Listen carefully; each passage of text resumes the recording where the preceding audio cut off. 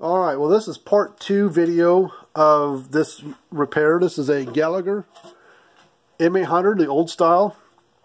This repair is basically the same as a Bev 3 Gallagher, or even a, uh, honestly, even a uh, Gallagher M1500 old style. The 1500 looked just like this one, except it was purple in color, and it had two capacitors versus one, and the, the main board had bigger capacitors on it to make it stronger.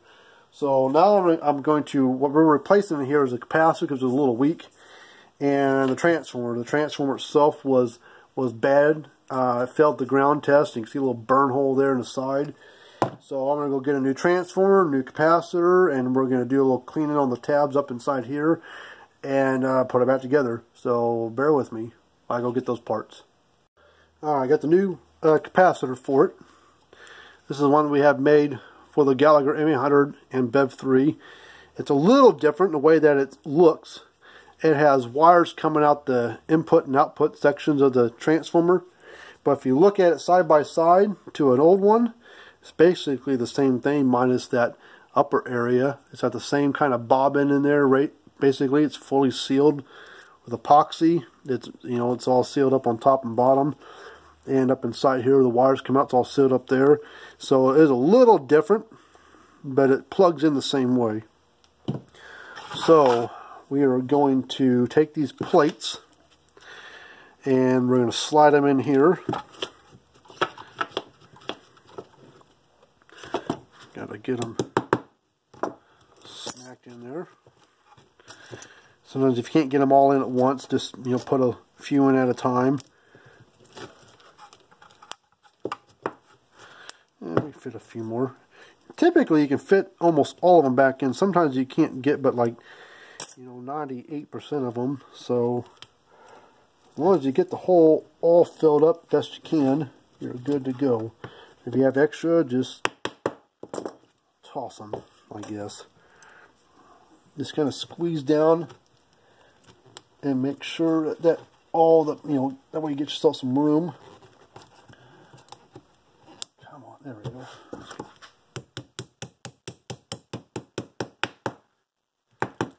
we were able to use all but one. I could probably sneak it in there, but it is a tight fit. So we're just going to call that good. Alright, so all of them are in there. So now, um, if, you, if you didn't see part one, I'll have a link down below that you can click on and watch it from the beginning of how to take it apart and how we tested it. Alright, so we're going to snake these wires through. There's two little holes down here. Put you know put one on the one on one side, one on the other. And he's going to pull the wires through and then get the plates of the transformer set in there. And you're pushing it, it's kind of pulling the wires at the same time as you push on the transformer. tight fit. Alright. There were wire, wires plugging into the old transformer, but we don't have the tabs on there like the original one did. So we're basically replacing the wires that were on there with these ones. And we're going to crimp on a couple of uh, female spade connectors, uh, quarter inch size.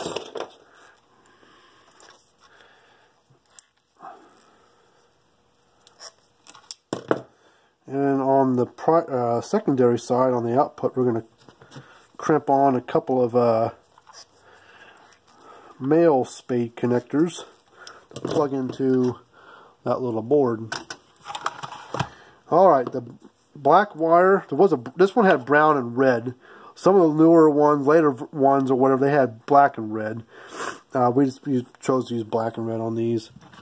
But black wire, on, that when you look at the back, it's on the left. It goes to this far left tab here. So you're going to plug that in there.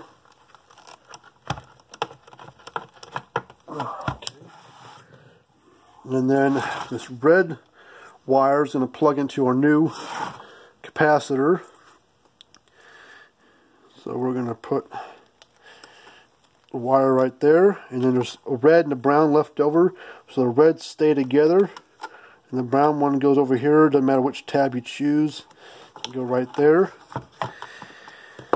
Alright, and then we've got those other metal plates. These ones here, these are going to stack up in front of the transformer, like that. And you need to put this clamp back in. Um, put this side in first, it goes over here. A little uh, area is kind of notched out. Push it in so it comes out down here. And then take a flat screwdriver, kind of get started by with your hand over here where my thumb's moving, and hold it. and take a flat screwdriver, go between it and uh, the, the case, and it's kind of working on there. That's how you get that on there. Alright, then we need to crimp on a couple of male spade connectors over here. Cut off some of that excess.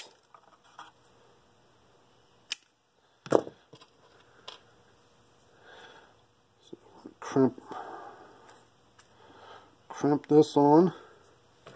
Now any part, if you want to send one of, the, of these in for repair to us, we'd be happy to work on it for you.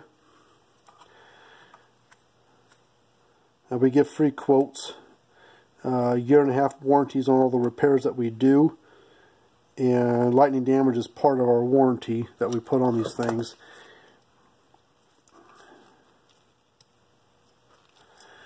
Alright. Now you put this, well, first I'm going to I'm gonna clean these two tabs up a little bit.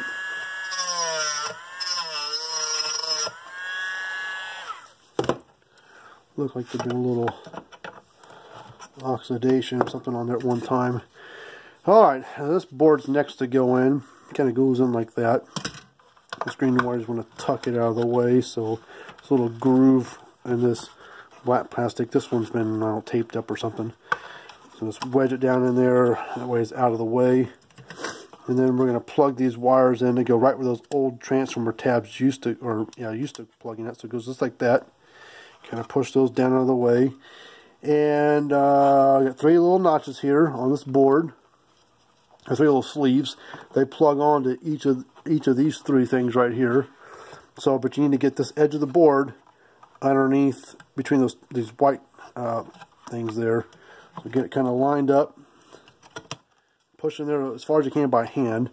And usually it's hard to push in the rest of the way by hand. So um, get another flat screwdriver and just kind of take your screwdriver and push it that way. And you'll feel it kind of work its way past this little black tab and just kind of tap it till it snaps down. And then we've got our replacement capacitor. We need to get it strapped. It's a little bit bigger around than the original. Same, you know, microfarads is at 40, but I'm going to put this uh, double-sided tape thing here on it. This is just extra little protection to keep it in place. So I'm just going to push it in like this. And then I'm going to get a couple of, um, these are just, uh, you know, regular cable ties, but they're, um, they're UV treated so they handle, you know, the heat and everything. But you want to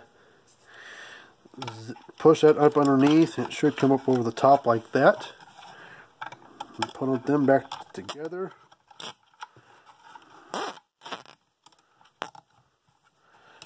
And then cut off excess. So that thing's not going to move. Alright, so now we're going to move this red wire out of the way, plug I saw something move. Nope, my imagination. So now we're going to slip this board down and we'll lift this up a little bit, probably to 45, so you get these little white plastic things uh, underneath the board when you set it down. Get those five tabs lined up. And you might be able to press them by hand, but sometimes you gotta give glove tap to get all the way on there. So now we're going to plug this thing in.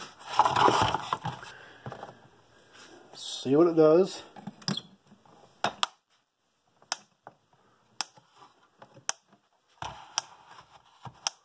So clicking and snapping like it should. Not quite as fast of a pulse, which is good. It means it's uh, that is charging up more, not discharging as fast. Getting about the same kV readings we were before, which is seven and a half. But we're going to do that ground test like you saw, like I did in the first video. Now watch when I do this, that light will still flash, and um, last time the, the voltage dropped way off. It went down to nothing. So I'm going to hook this meter back up here to the fence and ground. And uh, last time I did this, the red light went out and the voltage light went out over here and the voltage dropped down to zero basically. What's going to do now, it should stay flashing red and the voltage shouldn't change. See? Now it's working. So this unit is all done. So we brought another older unit back from the dead. And uh, perfect, you know, it's 50% new on the inside. It's not going to cost 50% of the price of a new one. It's going to cost a lot less than that. But uh, so if you've got one of these units, uh, be happy to work on it for you. We don't charge you any labor fees or service charges for looking at it. It'd be a free quote. And uh, and everything. I'm to throw away the old capacitor, the old transformer. don't need that anymore. But hopefully you like this video. Hopefully it was some benefit for you. It showed you how to test and work on one. You know, this was, uh, there's other things that can go wrong with these. This happened to be the particular repair on this one. Um, if you need help troubleshooting, write us a comment down below or email us at our website. I think I'll have an email address down in the description area. You can send us an email that way. But hopefully you like this video. You know, beneficial for you. You know, go to our website, fencerfixer.com, and fencer and fixer is both spelled with an F as in Frank. You know, if this is, went somewhere else, this would have been a throwaway unit. It has a good had a good boards in it, but they don't make the transformers for this anymore. And luckily, we have some made specifically designed for this unit.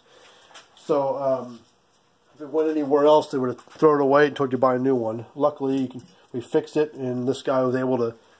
You know, he may have bought a new one. I don't know. Um, but this this would make a great backup unit because these old Gallagher units are kind of a tried and true generation of unit. They just go and go and go. You know, but this gets a year and a half warranty on the repairs. I want to do a um, lightning jump on. If you buy a new Gallagher, you get a three-year warranty on the new ones. But we got a year and a half on the repairs. Lightning damage is part of our warranty. I'm do a spark jump on it.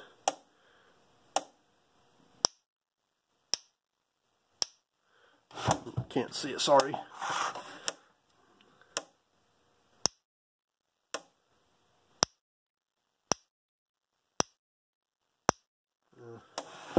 I don't know if it does it any justice or not in those videos, but it's nice sharp snap coming from it. Well, if you've got one of these units and you want it worked on, send it in to us. We work on all brands and all ages and models of stuff. Uh, work on a lot of Gallagher units, and but we work on all brands under the sun, whether they're still made today or they've been discontinued for 20 years or they were made 60 years ago or, or older. We work on everything. Um, but until we do another video on how to work on one or how one is work, you know, works and everything, we will see you guys later. And like I said, I'll put part one down below and you can click on it and watch it and if you needed help start you know start from scratch on this unit. But if you got questions or something give us a call or if you just don't want to fool with it send it in to us and let us work on it for you. We'd be happy to help you out. Until we do another video see you later